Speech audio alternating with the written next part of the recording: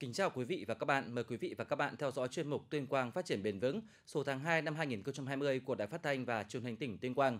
Trong chuyên mục hôm nay có một số nội dung sau. Tuyên Quang chủ động phòng chống dịch COVID-19,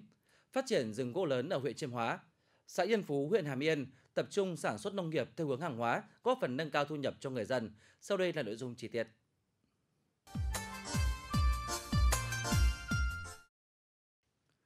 Thực hiện nghị quyết Đại hội Đảng bộ tỉnh lần thứ 16 về đẩy mạnh công nghiệp chế biến nông lâm nghiệp, sản xuất vật liệu xây dựng, công nghiệp hỗ trợ, trong những năm qua, Sở Công Thương phối hợp chặt chẽ với các sở ngành, chính quyền các địa phương triển khai các biện pháp thu hút đầu tư, phát triển công nghiệp chế biến chế tạo và công nghiệp hỗ trợ và đạt những kết quả quan trọng.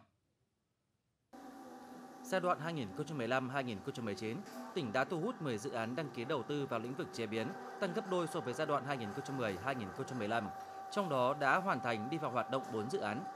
Từ năm 2016 đến nay, số dự án đầu tư vào lĩnh vực nông lâm sản tăng 1,4 lần so với giai đoạn 5 năm trước.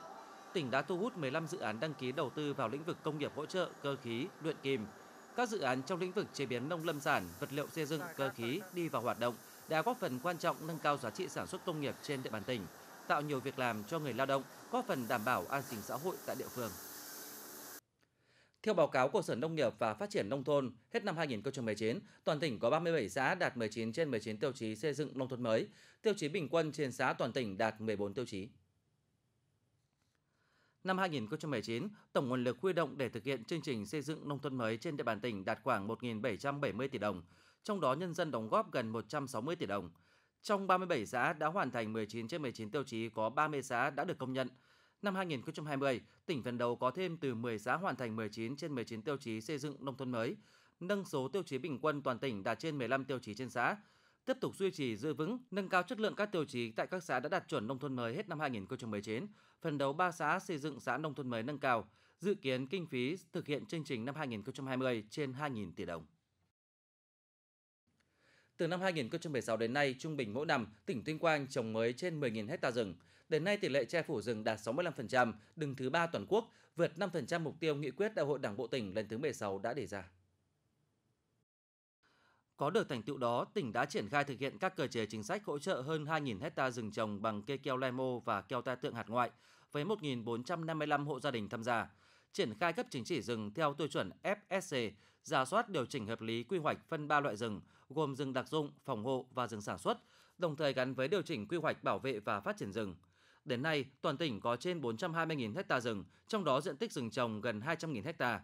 Từ nguồn nguyên liệu gỗ rừng trồng, Tuyên Quang duy trì hoạt động hiệu quả của các nhà máy chế biến lâm sản, tạo việc làm và thu nhập ổn định cho người lao động, tăng nguồn thu ngân sách cho địa phương, đồng thời góp phần tích cực giúp người trồng rừng yên tâm phát triển sản xuất, làm giàu từ rừng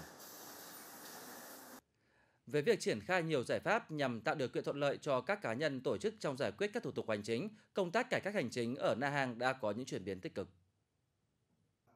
Ngay từ năm 2015, huyện Na Hàng là địa phương đầu tiên trong tỉnh sớm triển khai phần mềm quản lý văn bản và điều hành áp dụng từ lãnh đạo huyện tới các phòng ban và các xã thị trấn. Hiện trên 98% cán bộ công chức sử dụng thư điện tử trong trao đổi công việc. Tháng 5 năm 2019, Ủy ban nhân dân huyện đã triển khai việc ứng dụng phần mềm chứng thư số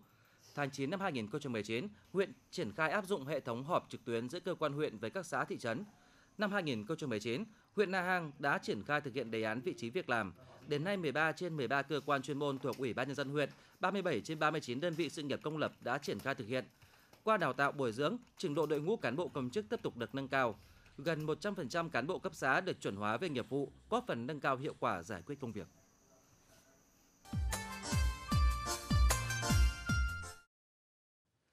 Đến nay trên địa bàn tỉnh chưa ghi nhận trường hợp nào nhiễm COVID-19, công tác kiểm soát, theo dõi và phòng chống COVID-19 xâm nhập đã được thực hiện quyết liệt với sự vào cuộc của cả hệ thống chính trị. Ngành y tế đang khẳng định vai trò phòng chống dịch bệnh ngay từ tuyến cơ sở. Cùng với đó, việc đẩy mạnh thông tin tuyên truyền người dân trên địa bàn tỉnh ngày càng hiểu đúng về dịch bệnh,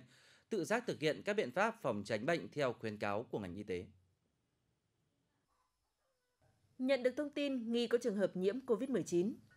ngay lập tức đội phản ứng nhanh của Trung tâm Kiểm soát Bệnh tật tỉnh đã lên đường đến lấy mẫu bệnh phẩm để gửi về Viện Vệ sinh Dịch tễ Trung ương để xét nghiệm, tổ chức giám sát cách ly đối với đối tượng nghi nhiễm.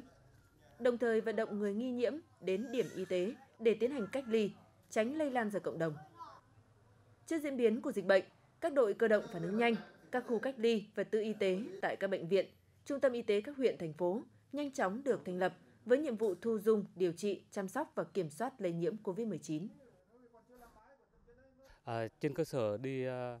lấy mẫu thì chúng tôi cũng đã tuyên truyền thứ nhất là cái cơ sở y tế phải tổ chức cách ly bệnh nhân ờ, trong vòng 14 ngày tại cơ sở y tế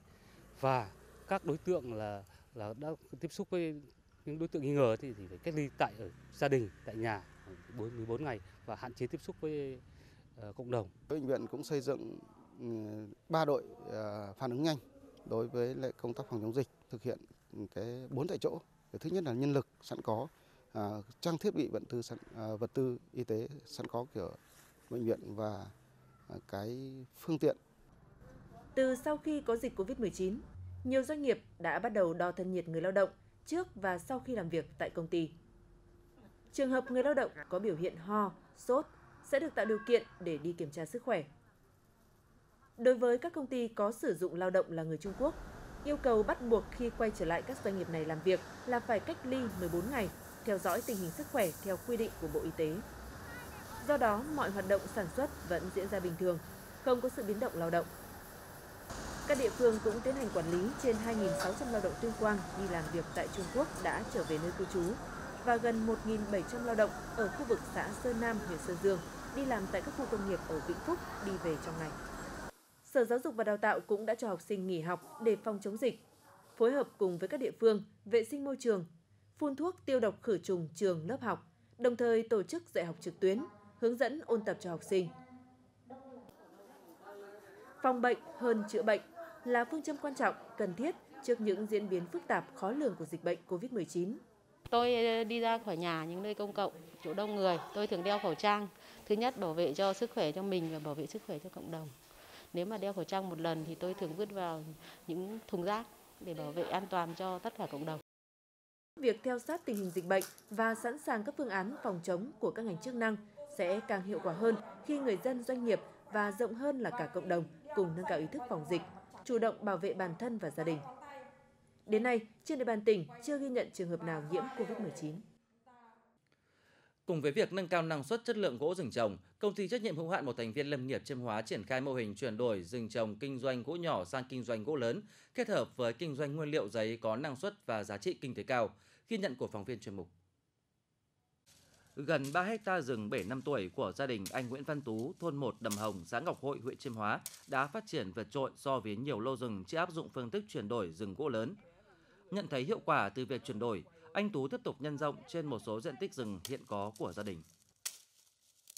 Khi mà tôi ờ, tham gia theo chương trình FSC này tôi cảm thấy là cái ờ, chương trình gỗ thực hiện theo nguồn gốc cái gỗ lớn này thì tôi cảm thấy là hiệu quả kinh tế nó tốt hơn và cái sản lượng sinh khối nó cao hơn, đáp ứng được nhu cầu của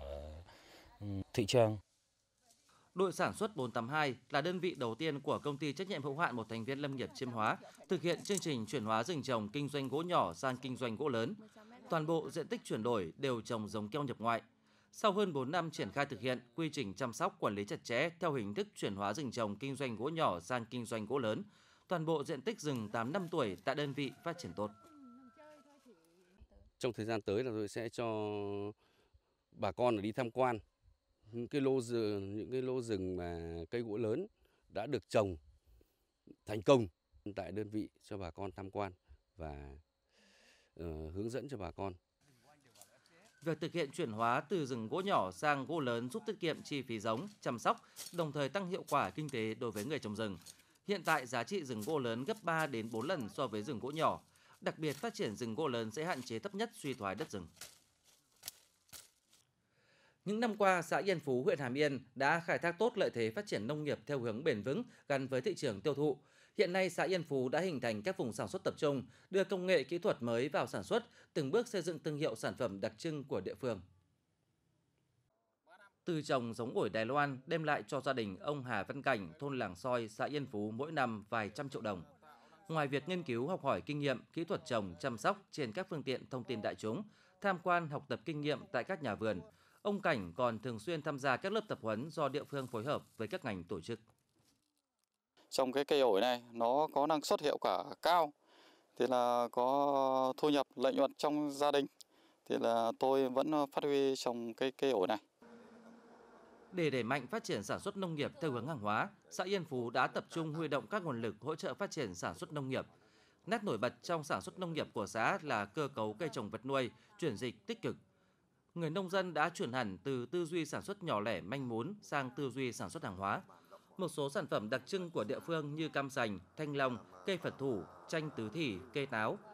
Vài năm trở lại đây, xã Yên Phú luôn được biết đến là địa phương có sự chuyển dịch tích cực trong phát triển nông sản hàng hóa, nhận được sự đón nhận của người tiêu dùng. Tuyên truyền vận động bà con dân là sản xuất theo cái tiêu chuẩn à, Việt Gáp và hướng tới là sản phẩm hữu cơ sạch để cho đáp ứng thị, thị hiếu của người tiêu dùng. Và chúng tôi cũng đã lựa chọn hai cái sản phẩm cây có thế mạnh địa phương đó là cây táo đại và cây thanh long đỏ là lựa chọn theo mỗi xã một sản phẩm để thực hiện theo cái sản phẩm của Hiện nay, xã Yên Phú đang tập trung xây dựng thương hiệu cho các sản phẩm nông nghiệp chủ lực của địa phương. Cùng với đó tăng cường các hoạt động xúc tiến thương mại, thu hút các chương trình mô hình hỗ trợ sản xuất, đẩy mạnh liên kết giữa doanh nghiệp với người dân nhằm xây dựng vùng trồng trọt sản xuất hàng hóa mang tính lâu dài, bền vững. Vấn đề quan trọng nhất là tiếp tục nâng cao thu nhập, nâng cao đời sống cho người dân địa phương. Sau khi công nhận đạt chuẩn nông thôn mới năm 2018, xã Phúc Ninh, huyện Yên Sơn đã thực hiện các giải pháp để nâng cao các tiêu chí trong bộ tiêu chí xây dựng nông thôn mới, trong đó chú trọng đến việc nâng cao thu nhập cho nhân dân. Thực tế cho thấy sau 7 năm thực hiện chương trình, đời sống của người dân xã Phúc Ninh đã có sự thay đổi rõ rệt. Chuyển đổi cơ cấu cây trồng, cây bưởi được lựa chọn là cây trồng chủ lực giúp người dân nơi đây làm giàu. Gia đình anh Nguyễn Tấn Hưng có hơn 3 hecta bưởi, Đối với anh, chăm sóc cây vào thời điểm ra hoa cần đặc biệt chú trọng để đảm bảo tỷ lệ kết quả. 6 năm qua, cây bưởi đã cho gia đình anh nguồn thu nhập ổn định. Tôi là dòng à, bưởi diễn và đang à, chương trình là đang theo cái hướng là hữu cơ, làm à, hàng hoa quả sạch không à, không thuốc bảo vệ thực vật. Đấy là qua đây là cũng dùng những thứ là như phân thì phân chuồng hoai mục để là phục vụ cho cây. Năm nay là cây cối hoa quả là năm nay là theo cái hướng hữu cơ là hoa là rất là nhiều. Xác định phát triển kinh tế, nâng cao thu nhập cho nhân dân là nền tảng quan trọng trong xây dựng nông thôn mới nâng cao. Thời gian qua, xã Phúc Ninh khuyến khích người dân chuyển đổi cơ cấu cây trồng, trọng tâm là cây có múi gắn với tiêu thụ sản phẩm. Hiện toàn xã có 600 hộ có thu nhập từ trồng bưởi với mức thu từ 50 triệu đến 1 tỷ đồng. Cũng chính từ loại cây trồng này đã giúp thu nhập bình quân đầu người trên địa bàn xã Phúc Ninh đạt gần 34 triệu đồng trên người trên năm. Năm 2020 chúng tôi tiếp tục là đẩy mạnh công tác tuyên truyền và vận động nhân dân tăng cường phát triển sản xuất nông nông nghiệp trên địa bàn xã, đặc biệt là chú trọng vào cái một số cái hàng hóa tập trung, hàng hóa nông sản tập trung đó là cây ăn quả. Chúng tôi tăng cường mở các lớp tập huấn chuyển giao khoa học kỹ thuật sản xuất theo hướng sản xuất hữu cơ. Với hơn 1.000 hecta cây ăn quả hiện có, trong đó bưởi là cây trồng chủ lực, xã Phúc Ninh đang tiếp tục đẩy mạnh phát triển kinh tế của người dân từ cây ăn quả, từ đó góp phần nâng cao thu nhập cho người dân, thực hiện chương trình mục tiêu quốc gia xây dựng nông thôn mới, thực hiện mục tiêu đạt chuẩn nông thôn mới nâng cao trong thời gian tới.